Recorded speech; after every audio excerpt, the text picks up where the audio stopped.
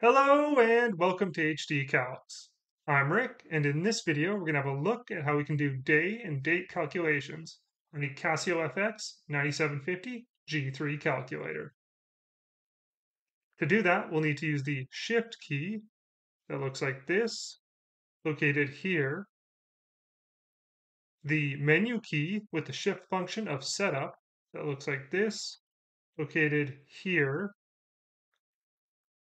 the exit key that looks like this, located here, and the F1 through F6 keys located across the top here. To get started with this, we first need to navigate to the TVM app. To do this, we press the menu key, bringing us to the main menu, and then we need to go down to this TVM here. So we scroll over and down so that it's highlighted and press EXE. Now we see this menu here and we want to scroll one to the right. So we hit F6 and at F2 we see days calculation. That's what we want. So we press F2 again. And there we go. We're in the day calculation app. An important thing to know about this is we're limited to the dates we can work with. This app only works between the dates of January 1st, 1901 and December 31st, 2099. Also, we can use either 365 or 360 day years. You can see right now I'm set to 365 day years because it says 365 at the top there. If we wanted to change that to 360 day year, we would do that by pressing the Shift and then the menu key, bringing us to this menu. And then if we scroll down to date mode, we see we can change between 365 and 360 day years. We'll keep it at 365 day years for this example.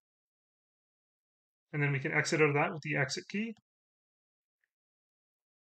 All right, let's try an example. Let's say we were given a project on January 2nd, 2010 that was due on March 15th, 2010. How many days would we have to complete that project? Or how many days between January 2nd and March 15th, 2010? To do that from our day calculation app, first we need to set our D1, which is our start date, and our D2, which is our end date. So we highlight D1, and then we can just start entering our date. So we have January 2nd, 2010, and we can just start with the month, which is 1 for January. There we go. Input date, month, 1 for January. Hit EXE. And then the input date, day. Well, we have the second, so we hit 2 and then input date year, we have 2010, and hit EXE.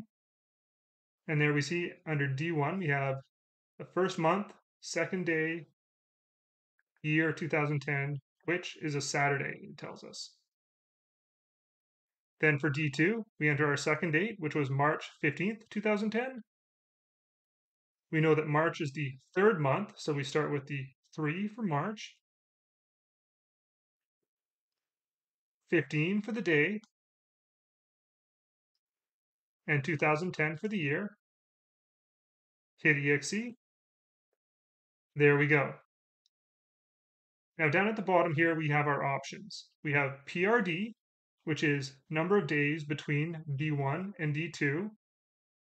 D1 plus D, which is where we can calculate a number of days past D1, and D1 minus D, where we can calculate the number of days before D1. So since we wanted to calculate the number of days between D1 and D2, we'll hit F1 for PRD. There we go. This tells us there are 72 days between January 2nd, 2010 and March 15th, 2010. So that's how long we have to get our project done. To go back, we can hit F1 again. Let's say we set ourselves a milestone for our project seven days after the start of our project on January 2nd, and we want to know what that date is. Well, we can do that with this app as well. If we set D to 7, D is the number of days, and then we hit D1 plus D, or date 1, which remember was January 2nd, 2010, plus 7 days, that tells us that is January 9th, 2010, which is also a Saturday.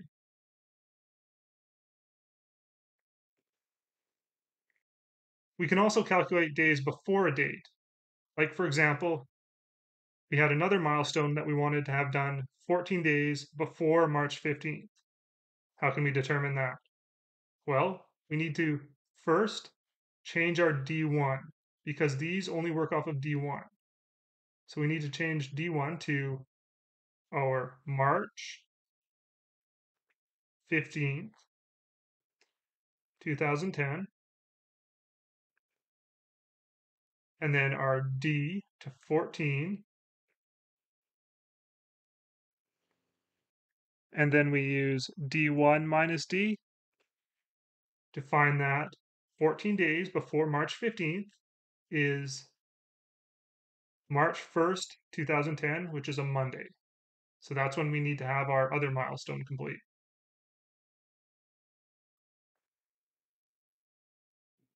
And once we're done working with our day and date calculations, we can go back to the main menu by hitting the menu key. And there we go. Thanks for watching, everybody. I really hope this has been helpful. If it has, you can help me out by hitting that like button and subscribe for more calculator tips in the future. And, as always, good luck on those tests out there, everybody. You've got this.